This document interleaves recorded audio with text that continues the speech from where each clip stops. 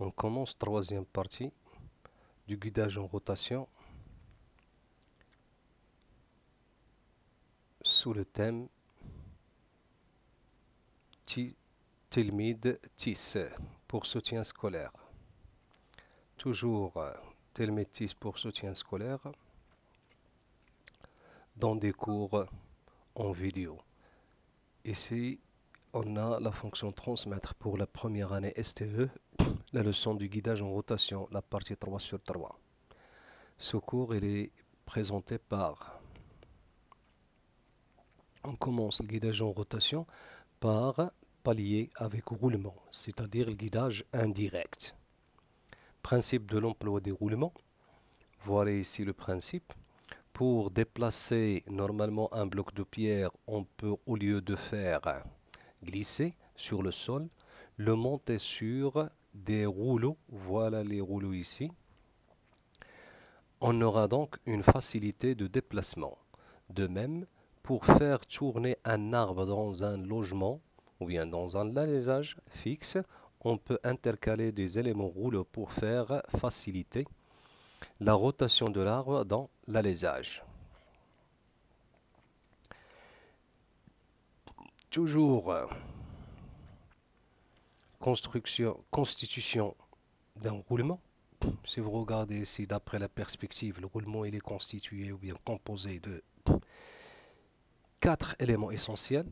Ici la bague extérieure, la bague intérieure. Entre les deux bagues, on a les éléments roulants. Ici, ce sont les billes.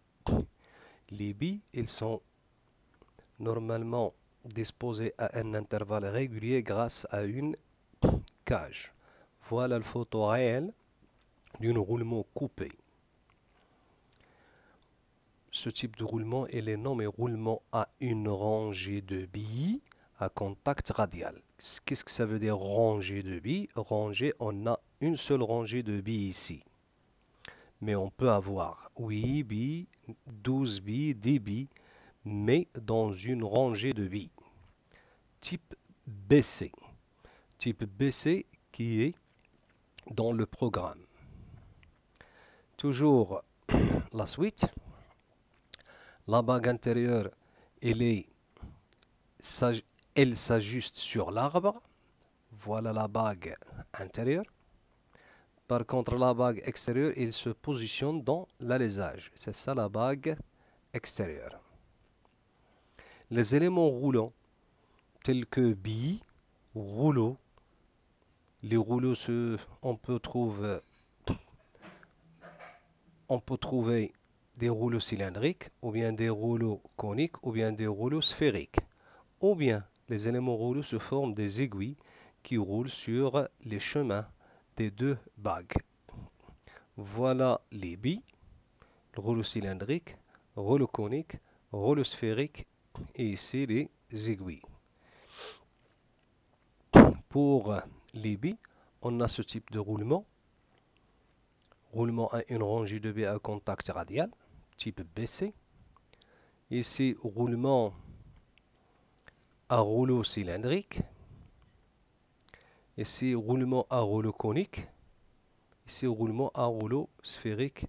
Et à la fin, roulement à billes. Roulement à aiguille plutôt. Quatrièmement, la cage. Il maintient les éléments roulants à un intervalle régulier. Voilà la cage ici.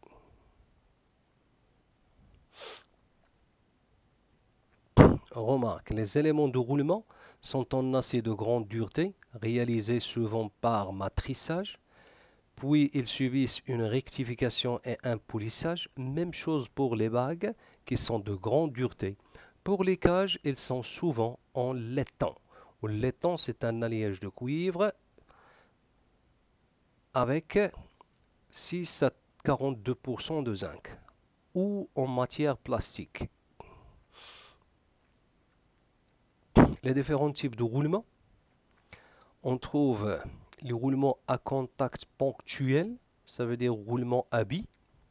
Les roulements à billes, on a cinq types type BC,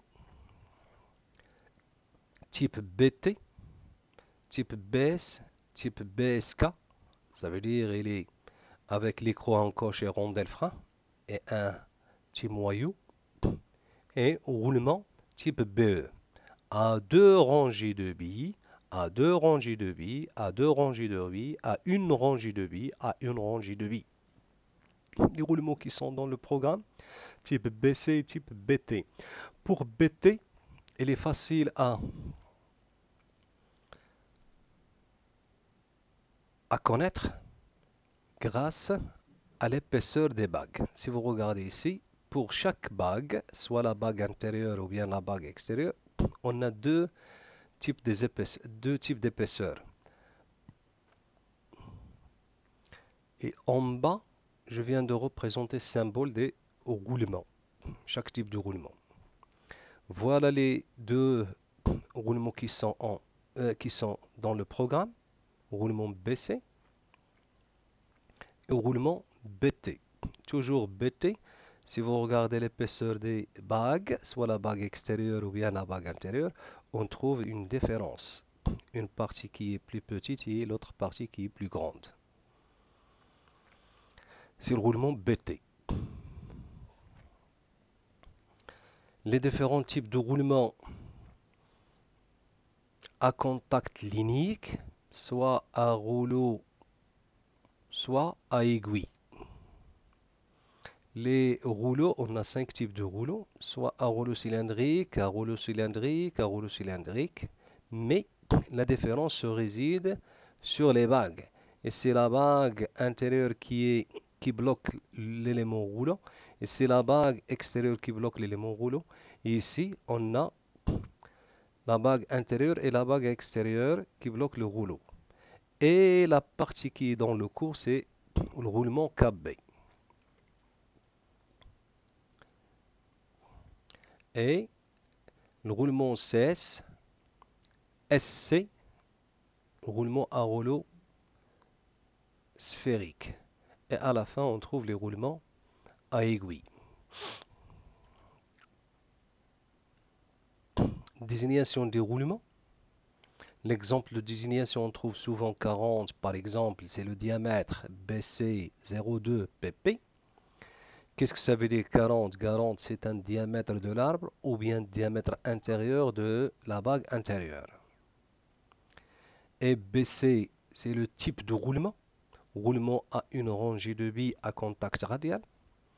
0,2, c'est le série de dimensions. Si vous regardez dans série de dimensions, pour déterminer la largeur du roulement, et le diamètre extérieur de la vague extérieure, diamètre de l'alésage. Voir tableau ci-dessous. Ici, PP, soit le roulement étanche de deux côtés par flasque, ou bien étanche d'un seul côté par flasque, EE e étanche de deux côtés par joint, E étanche d'un seul côté par joint. X, protection quelconque d'un seul côté. Si on trouve XX, ça veut dire protection quelconque de deux côtés mais aussi pour les autres types qui sont dans le programme, soit BT, roulement à une rangée de B à contact oblique, ou bien KB, roulement à rouleau conique.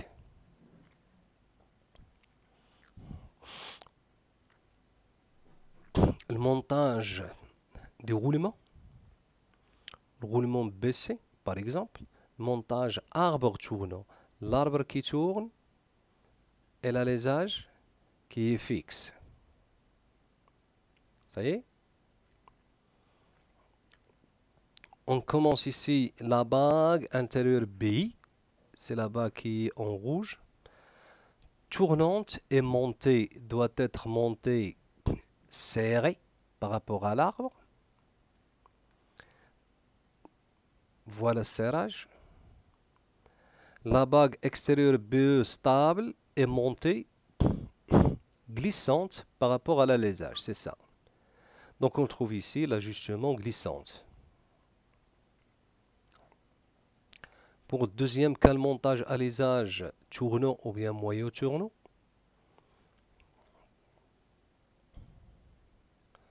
la bague intérieure BI normalement stable est montée, glissante par rapport à l'arbre. Voilà glissante. La bague extérieure B tournante est montée, automatiquement serrée à l'alésage, par rapport à l'alésage. On trouve ici l'ajustement serré.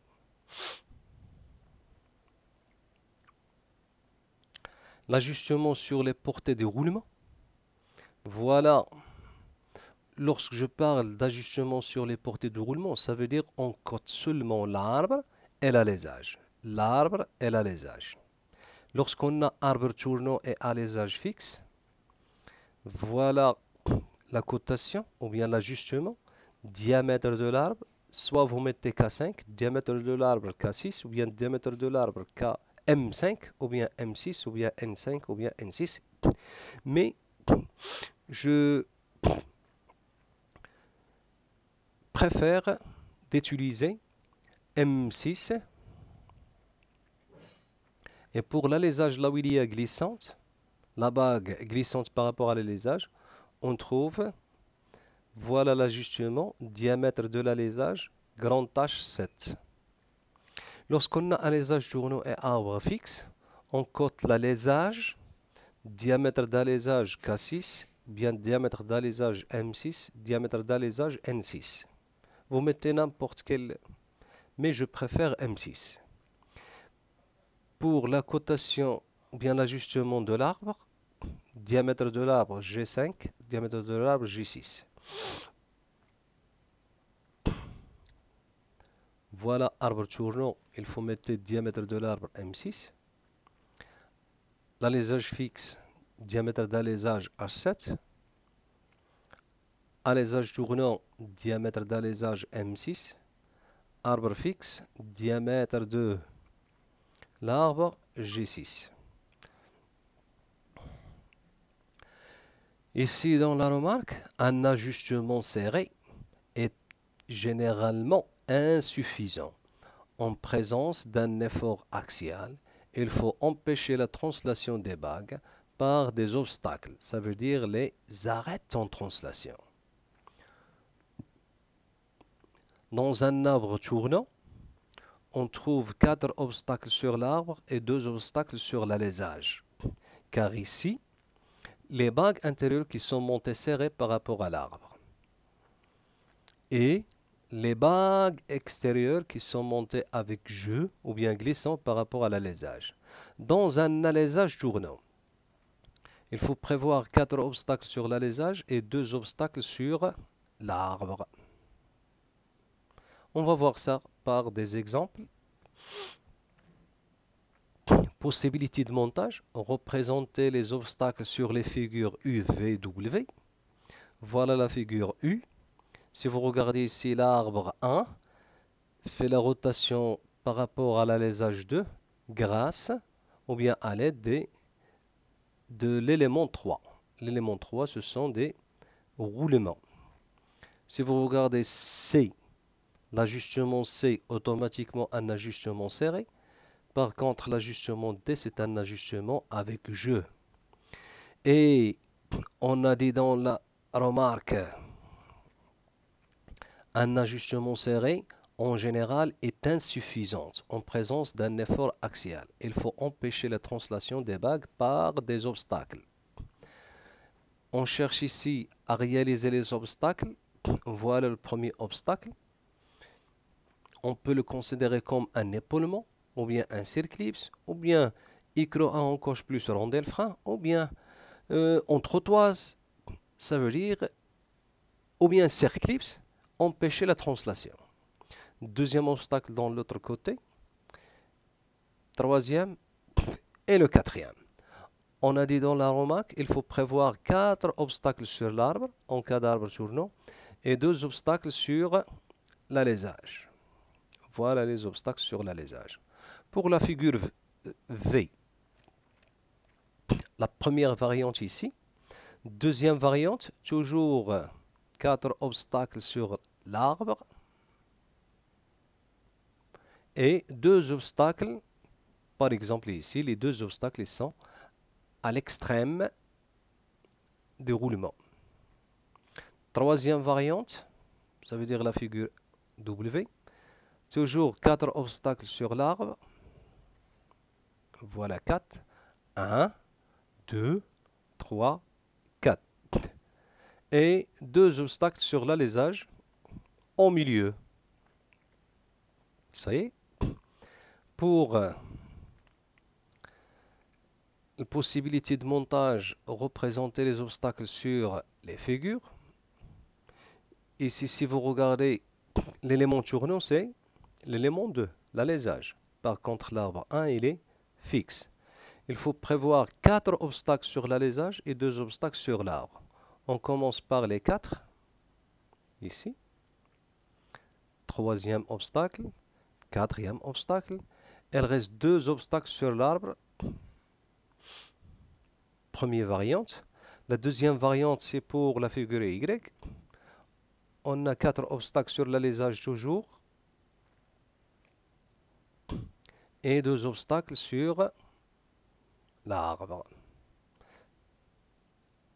La figure Z, quatre obstacles sur l'alésage. Et deux obstacles sur l'arbre. Ça y est? Ça, il est très très simple. Exemple d'application des arêtes en translation sur la bague, sur les bagues des roulements baissés. Qu'est-ce que ça veut dire des arêtes en translation? Ça veut dire des obstacles qui permettent d'arrêter la translation des bagues, soit vers la gauche ou bien vers la droite. On a ici arbre 2 tournant et moyeu 1 fixe. Voilà la figure on commence à gauche à ce niveau-là, le roulement A dans la bague intérieure du roulement A. À gauche, de la bague intérieure du roulement A, elle est bloquée par l'élément 4. Si vous regardez le premier obstacle, c'est un circlips 4. Voilà la représentation de circlips, c'est ça. Deuxième obstacle à ce niveau-là, c'est un épaulement de 2.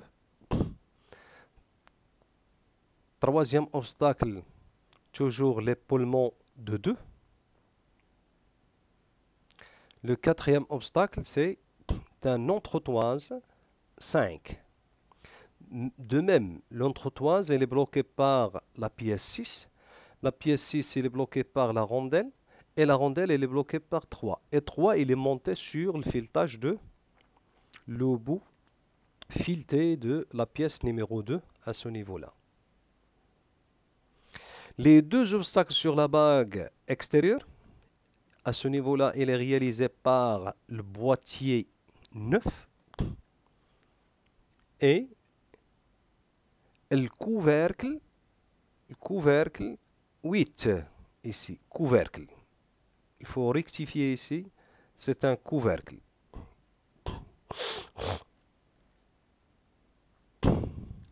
Je viens de rectifier.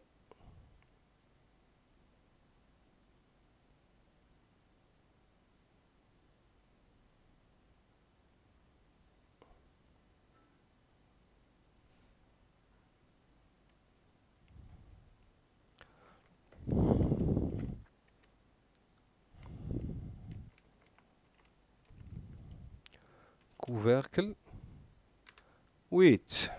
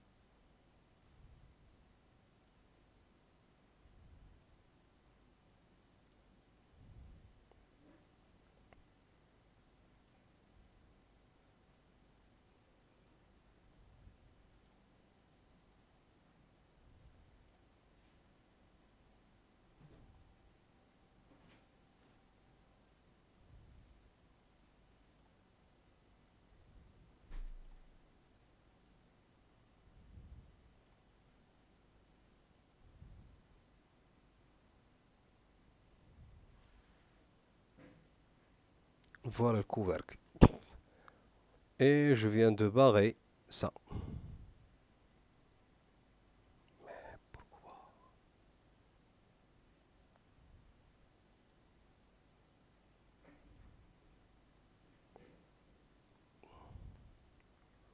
Ça y est.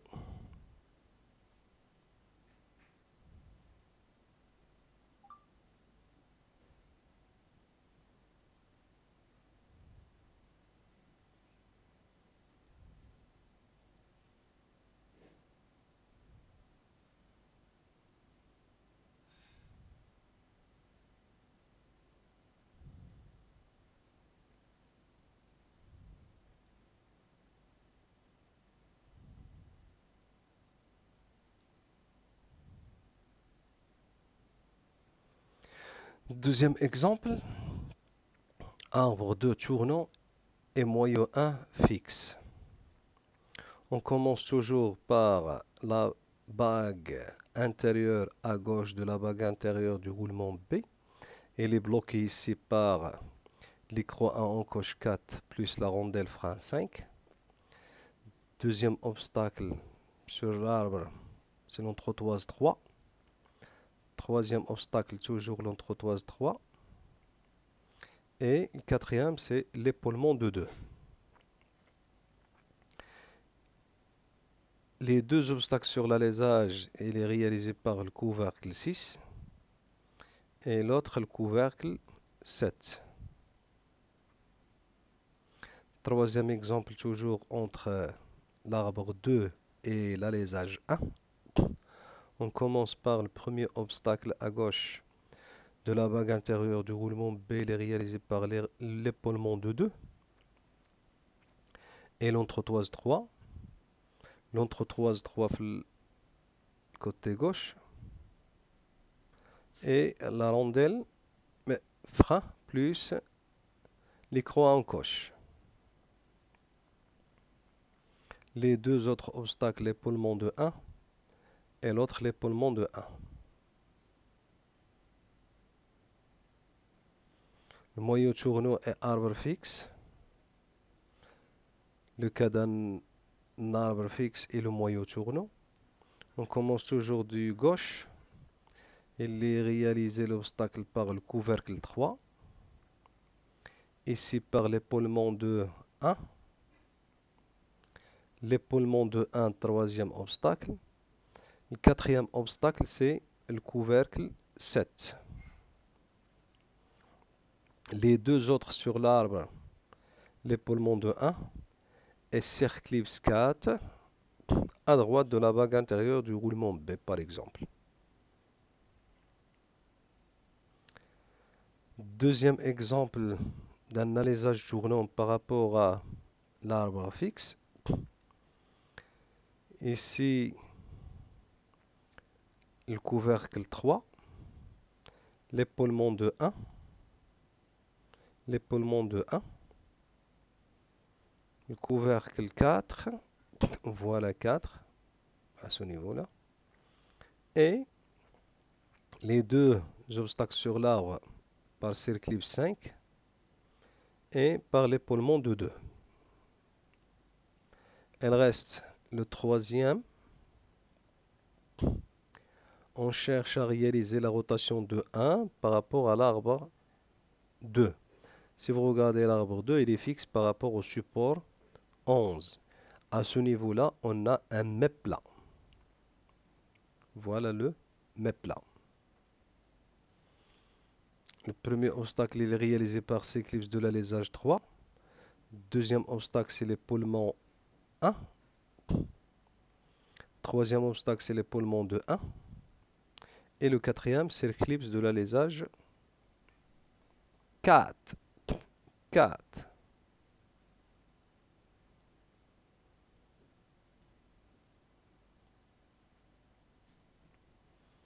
Ici 4, circlips 4. Circlips 9 sur l'arbre et circlips 10 sur l'arbre. Ça,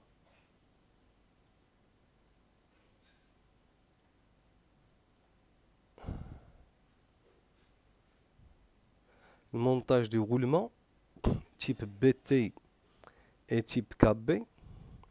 Si vous lisez, on applique, on applique les mêmes règles de montage pour les roulements à une rangée de billes à contact oblique BT et les roulements à rouleau conique type KB. Les mêmes règles de montage. L'obstacle, il est toujours placé sur la grande épaisseur des deux bagues. Voilà la bague, la grande épaisseur ici, on trouve ici un obstacle. Et ici, la grande épaisseur ici, on trouve ici un obstacle. De même chose pour KB. Voilà la grande épaisseur, on trouve ici un obstacle et ici un obstacle. C'est-à-dire, on trouve, soit dans l'alésage tournant ou bien arbre tournant, deux obstacles d'arrêt en translation sur l'arbre et deux obstacles d'arrêt en translation sur l'alésage. Le montage direct ou bien le montage en X, si vous lisez bien, elle est réservé à l'arbre tournant. Lorsque vous entendez le montage en X, automatiquement arbre tournant. Ou bien le montage direct des roulements, elle est réservé à l'arbre tournant. Voilà l'exercice qui suit. Indiquer les repères des pièces sur le dessin 3D. Un dessin d'ensemble, dessin 3D ici. Il faut faire la compatibilité entre les deux dessins. La première pièce ici, c'est quel repère À votre avis, c'est automatiquement, c'est la pièce numéro 5. Très bien. Deuxième pièce ici, c'est le couvercle 4. Troisième pièce ici, c'est le cale de réglage du jeu. C'est 6.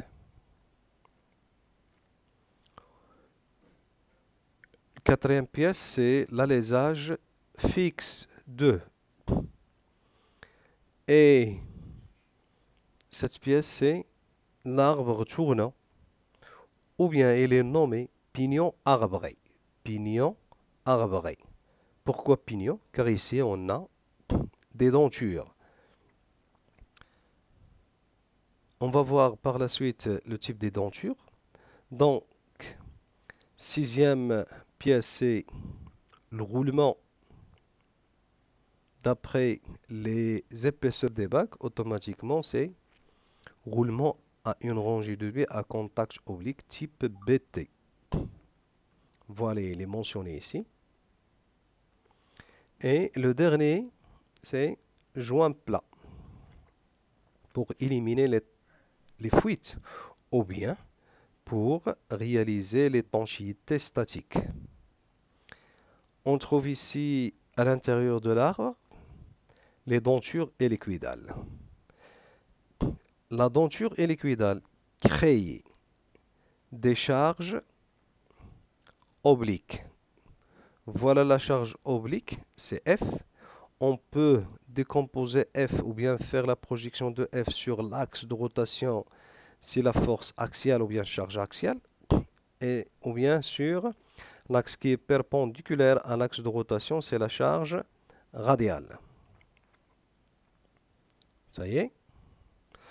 La lettre X, c'est ça. Il faut relier normalement les obstacles. Voilà le premier obstacle, deuxième obstacle. Premier, deuxième. Et ici, troisième, quatrième troisième, quatrième. Lorsque vous reliez les deux avec les deux, on trouve la lettre X.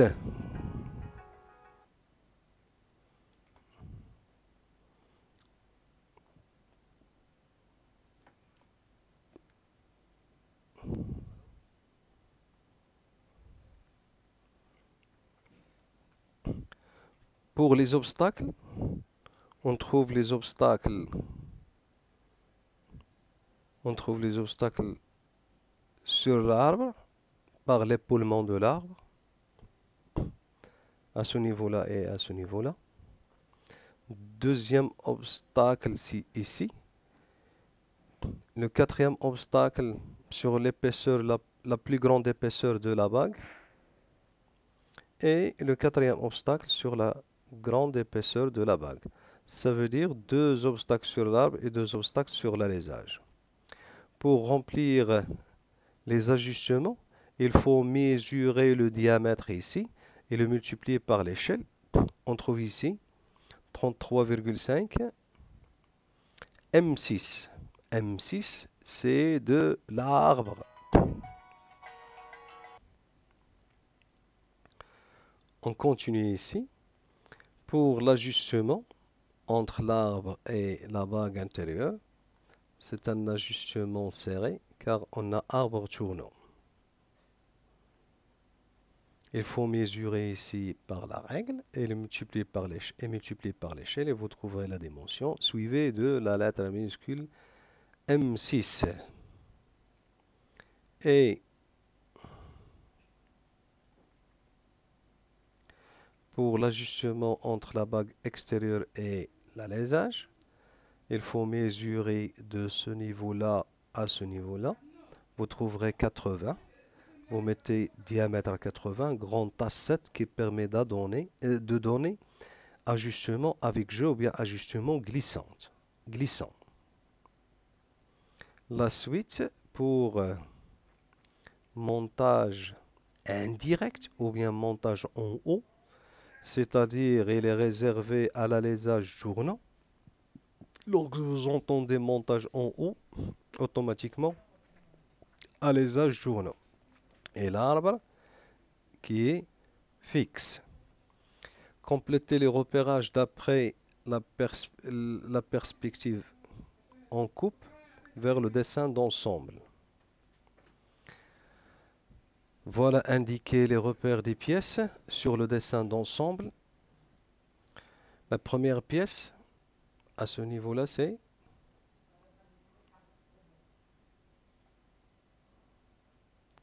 c'est la pièce 10, c'est un couvercle. Par contre, cette pièce, c'est la pièce numéro 2, tournante. C'est l'alésage. Alésage tournant. La pièce numéro 1, c'est une pièce fixe. C'est l'arbre. Ça représente la pièce numéro 8, c'est un joint à deux lèvres si vous regardez un rectangle là où il y a deux flèches, c'est un joint à deux lèvres. Le joint à deux lèvres permet de réaliser l'étanchéité dynamique. La suite, la pièce 3, c'est le roulement à rouleau conique. La pièce 5, c'est une rondelle plate. Puis rondelle frein L'écrou a un corset numéro 7. Le roulement a une à rouleau conique c'est 4. Et 9 vis CAC, vis de fixation du couvercle 10 par rapport à 2. Pour les ajustements, automatiquement on a arbre fixe à les tournants.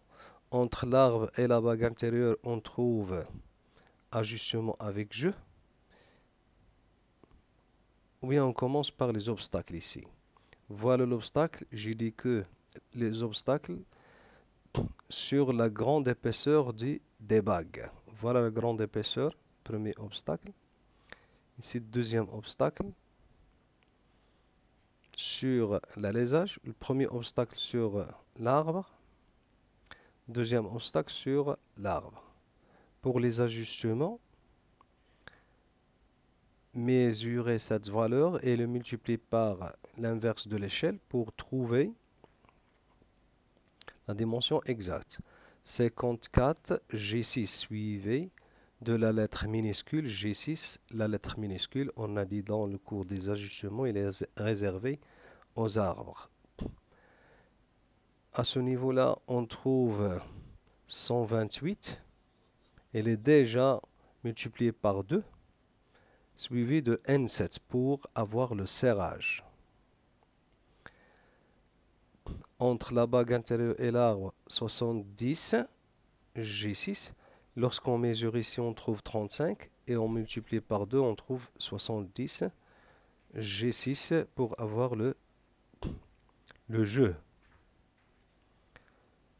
L'autre ajustement entre la bague extérieure et L'alésage 160 N7.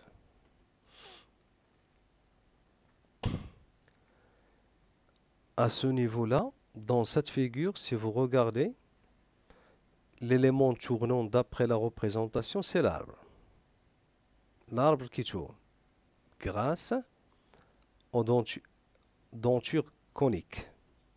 Lorsqu'on a l'arbre qui tourne, alors par exemple, ici j'ai dit le montage en haut, si vous regardez, les obstacles, les obstacles, on trouve la lettre O. Pour l'exemple, on a arbre tournant, mais la lettre O. J'ai dit dans la remarque, le montage en haut s'emploie aussi avec les arbres tournantes. Lorsque les roulements sont plus proches ou la charge oblique est à l'extérieur du roulement. La charge oblique se réside au niveau de la denture. Voilà la charge oblique, c'est F. Lorsque la charge oblique est à l'extérieur du roulement, au lieu de réaliser le montage en X, on réalise le montage en O. Deuxième remarque, le réglage du jeu dans, le cas, dans ce cas s'effectue alors sur la plus grande épaisseur de la bague intérieure. Voilà la bague intérieure. Lorsque je serre l'écrou à encoche 8, on peut avoir déplacement de cette bague intérieure. Pour avoir déplacement par rapport à l'arbre, il faut prévoir prévoir un faible jeu ou bien un jeu faible s'effectuer alors sur la grande épaisseur de la bague intérieure tournante ajustée alors avec un faible jeu. La tolérance ici pour avoir un faible jeu, c'est petit h 6. Voilà, il est mentionné ici. Ou bien petit h 5. Voilà la bague qui est juste serrée ou bien juste avec je, ça veut dire dans le cas limite. L'ajustement, c'est 42H6, car l'échelle 1,1. Lorsqu'on mesure ici, on trouve 42. 42. Mhm. Les obstacles,